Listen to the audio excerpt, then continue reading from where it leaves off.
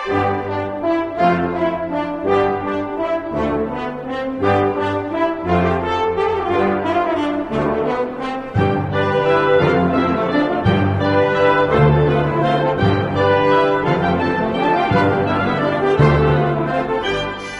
watch enthusiasts.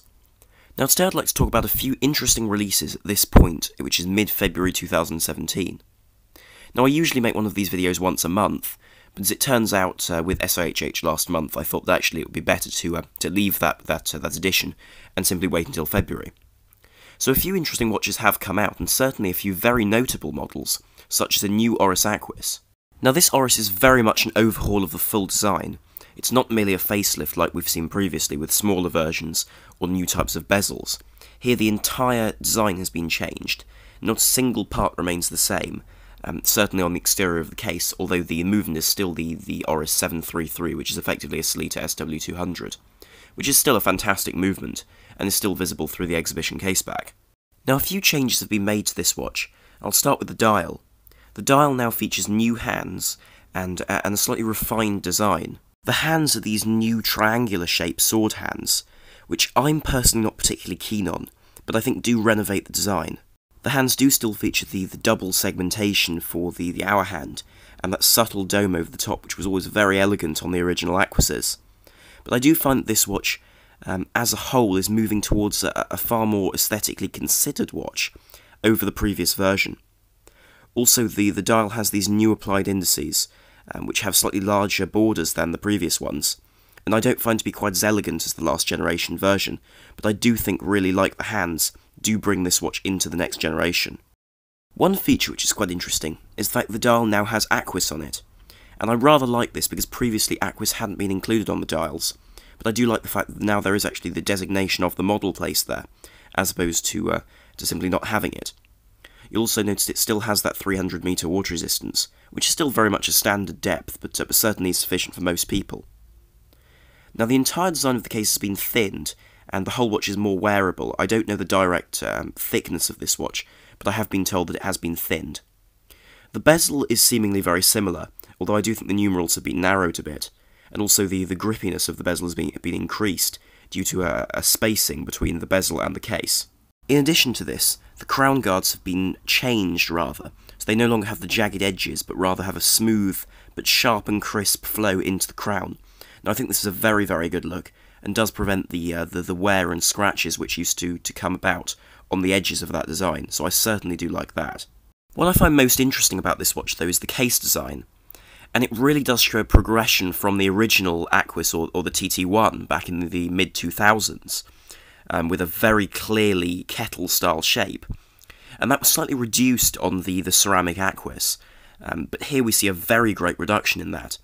And you can clearly see the, the change from really a professional dive watch which had only the purpose of being a good dive watch to something far more versatile and dressy. Personally, I rather like the rugged aesthetic of the original, but in this case I do think it suits the watch very very nicely with that beautifully sunbursted blue dial.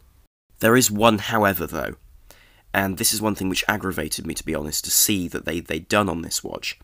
And that was to change the screw shape on the lugs, because of course the lugs have always been a point of, uh, uh of aggravation, I think, among many owners of the Aquis that one can't put uh, non-standard straps on this watch.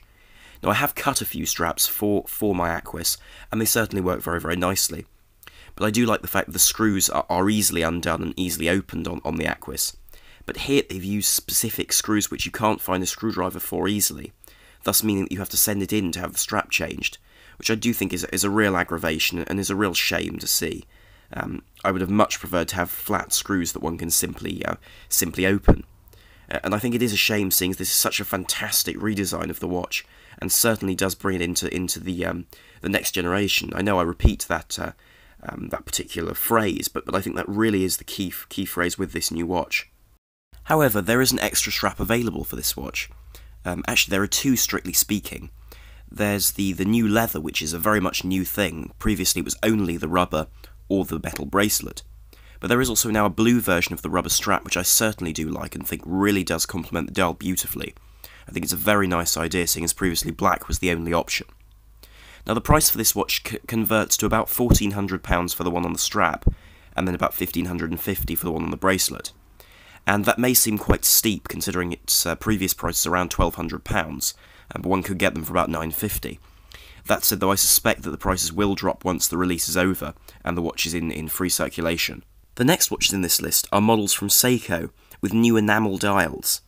And these come in the Presage line, which is, of course, that sort of mid range Seiko lineup of non professional dress oriented watches, which, uh, which do include uh, very high quality in house calibers, but, but cost a bit less than Grand Seiko, which are, of course, in the, the Rolex and Omega sort of budget range, which is un- unattainable for most people.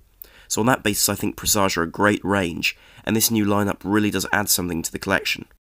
Now, the first watch in this lineup is the most expensive, and this is the automatic chronograph uh, version of this watch with a 42mm brushed and polished case. Uh, it runs at 4 Hz with a 4 uh, an 8 8R48 in-house Seiko movement. This is a column wheel chronograph, which is of course an interesting complication considering the um, uh, the the in-house nature of this watch, and is very impressive considering that. Um, that for for an in-house column wheel chronograph, this watch only costs two thousand six hundred and fifty euros, and that may be for, more than other column wheel chronographs, but this is a fully in-house model, which which is very impressive. It also has a 45-hour power reserve, and the one thing which is most interesting about this watch is that unlike the version of the, this watch which it's based on, which was last year's version, this watch is not lim- a limited edition, so you can now get hold of this very easily um, and freely once it's come out fully. Of course, this watch features a tricompax layout on that beautiful enamel dial. With Roman numerals, this is very much a dress watch of a chronograph, with a, a, an alligator strap and then those beautifully blued hands. The only one thing that I might have removed if I designed this watch is the date. Although a very practical feature, I don't really think it's in keeping with the rest of the style of the watch, although that's only my opinion. On the whole, I think this watch really is beautifully crafted and beautifully executed. This next watch is the, the multi-hand automatic, and this version is based on a model from 2016, which had a, a textured dial rather than this enamel version. And I must say, I think this watch is the best value model in the lineup. As this, this superb complication of the power reserve, um, which is of course a 45 hour power reserve, in addition to a pointer date, which I think is a much more elegant choice on a, on a watch with an enamel dial, which you don't, don't want to be broken by a hole for the date. It also features nicely enlarged Roman numerals, which uh, which break around that textured dial which dips in in the centre to, to show Seiko Presage and automatic. Also, that those blued hands with the, uh, the the crescent moon on the end of the second hand are really beautifully finished. Now, the price for this version is a baffling 1300 euros, and that really is incredible. And you really wouldn't see this from, for example, the Swiss or the German markets at this price point, um, which is why I think we all love Seiko so much. And I really do think this watch is a fantastic choice for anyone who wants a, a nicely complicated yet very elegant in-house uh, movemented watch for about £1,300. Um, and in fact, once this watch has been released, uh, the 1,300 euros it currently costs will likely drop down to maybe 1,100. So about £1,000, I think this watch is a superb investment. There are also two three-handed version of, versions of these watches for those who want a more elegant and simple design, um, and, and, a more classically correct design for a dress watch. And these versions come under a three-hand circular version and a three-hand tonneau version. The three-hand is 1100 euros and shares the case of the multi-hand. And this is a watch really for someone who wants a more simple and elegant dress watch, and I can certainly understand that uh, for this price this watch is a superb bet. Again, I'm not too keen on having the, the hole for the date, but that really is a, a necessary evil because, of course, having the, the pointer date would um, would increase the, the complication of this dial and make it altogether less elegant for those who are looking for, for a very simple and clean aesthetic. The tonneau version of this watch is an interesting watch, and though I'm not a huge fan of tonneau style cases, this is certainly a nice uh, version of, of that style. Of course, it shares the, the handset, uh, although shortened, of the other versions of this watch, um, with merely the tip of the, the, the minute hand being, being removed, if you will, to, to give a more stout sort of hand. The dimensions of this watch are 46 by 35.9 millimeters, so it has about the same diameter of 40.5 overall as an average um, as the, the circular ones, so it's just as wearable. And this, of course, has a 50 hour power reserve um, and the 6R15 movement, as is shared with the, the three hand version, and costs 300, uh, sorry, 1300 euros, uh, which is, I think, a very good price for this watch although for that price I'd be inclined to go for the multi-hand. The next watches on this list are a new model from Glashütte Original, and this is a watch which I think is very interesting because it follows on from their 60s circular dress watch, which had a great deal of popularity and a great deal of following, because of its beautiful dial colours, and here they've made a, a, sort of a take on that with a square case, a square fully polished stainless steel case, and a chronograph. Now these watches feature a caliber 3934 uh, in-house Glashütte Original chronograph movement, and this is really the top end of the 39 caliber, which is then their chronograph version. This is a 40, uh, 40 hour power reserve, and they're producing 125 in total, so that's to say 25 of each of these models.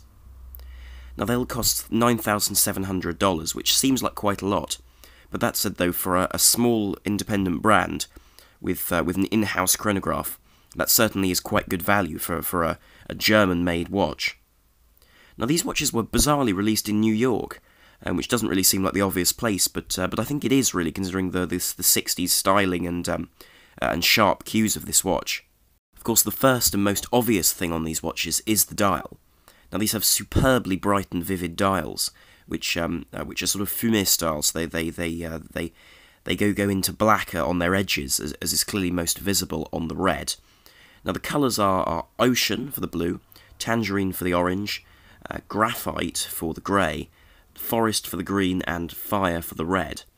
And these certainly are very clear and uh, and quite beautifully finished dials, with a sort of sunburst effect on this fumé style dial.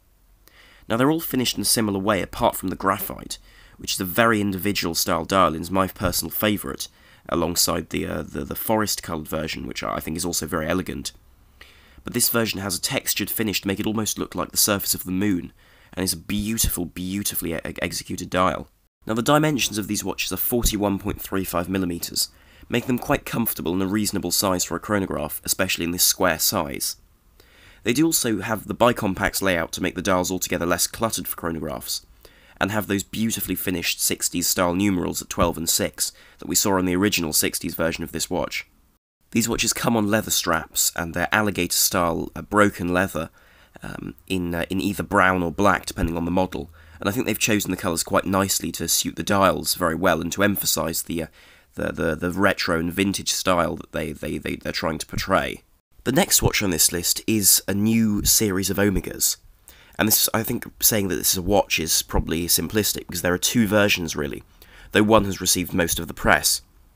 And these are versions for the, the 2018 Pyeongchang Olympics, or rather Winter Olympics. Um, and these are versions of the Omega Seamaster Planet Ocean and the Aquaterra, specifically to, to honour this event, uh, as Omega have been timing these, these Olympic Games since 1932. Now, this version is obviously designed to, to pay homage to the, the South Korean flag, uh, and of course has the, the red, the, the, the white, and uh, uh, or the rather the red and the blue um, as the key colours placed here. But it does also feature the coaxial master chronometer movement of Omega, which is of course the, the highly anti-magnetic movement with that coaxial escapement, which is really the pinnacle of Omega's technology at the moment uh, in their sports watches, and certainly is great to see here. And it comes on a rather interesting strap, which is built into the, the case and is a, a rubber woven style, and, and, and again uh, follows those different colours which this watch does um, uh, does pay homage to in that uh, that South Korean flag. Other than these stylistic cues, this watch is limited to 2018 pieces, and uh, and does of course feature all the, the, normal features that one would expect to see on a Planet Ocean, with 600 meters of water resistance, um, and uh, and that exhibition caseback showing off that beautiful movement. Now the bezel is of course the new version of Omega's bezel, with the, the liquid metal style ceramic bezel, in addition to the rubber insert from 0 to 15 to make that area more legible and have a real pop of colour.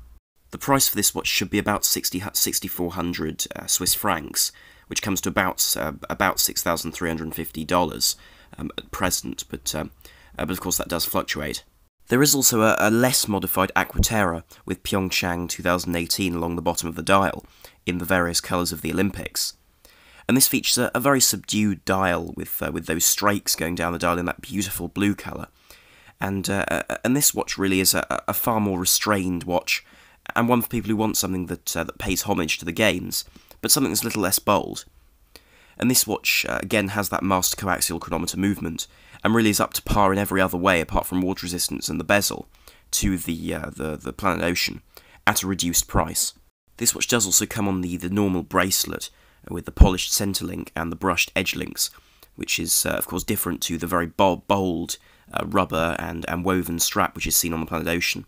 And I think this suits this pseudo dress watch a little bit better than the rubber strap would have. Now this final watch on this list is the new version of the Blancpain 50 Fathoms bathyscaphe with the 38mm case. And this is a very, very interesting watch because I think it harks back to the original much better than the 43mm standard version does, because of different proportions, and the fact that this watch is close to the original size. Now this is not the first time we've seen a 38mm bathyscaphe, because we did see the Revolution limited edition with the numerals around the dial, which was a very, very original style of watch, and, and certainly was an interesting piece in 2016. But here Blancpain released a non-limited edition version of the watch, with the standard design cues just in a smaller size. Now, the dial and hands of this version are simply scaled down versions of the 43mm versions. And this, to be honest, is no no real problem, because the original was, was a design which many people really did like.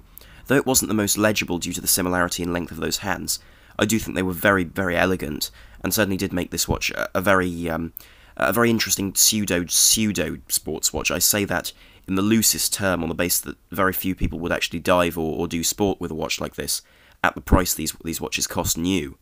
Now the movement is a caliber 1150 with 100 hours of power reserve from Blancpain, and and certainly is an interesting movement and again an in-house movement which is what you'd expect really from a, a, a name that like uh, like Blancpain, a house of that that heritage and, and age.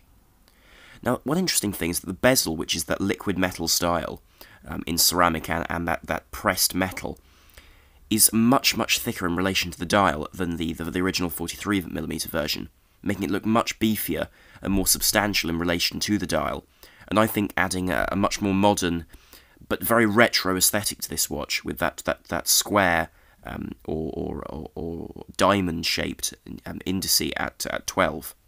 One very welcome change here is the thickness. The original was 13.4mm for the 43mm version, but here the 10.7mm version, uh, in this case, um, is far more wearable and, and, much, much thinner in relation to slipping under the cuff, which I think is a very, very welcome change and one which I think a lot of people will find helpful.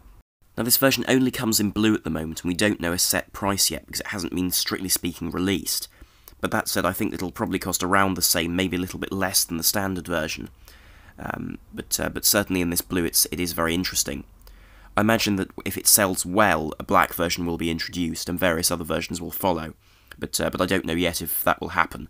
Um, but certainly the blue is a very very nice model. Anyway, I shall end on this beautiful Blancpain.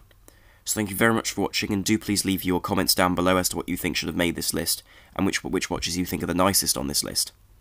So thank you very much for watching. Do please like, share, and subscribe if you did enjoy this video and would like to see more on the channel. This is Sam on the Watch Guy, over and out.